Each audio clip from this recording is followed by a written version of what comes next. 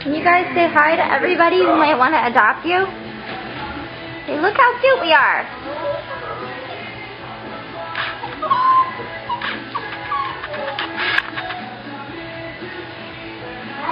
Yeah. Hi, everybody. This is where we like to sleep.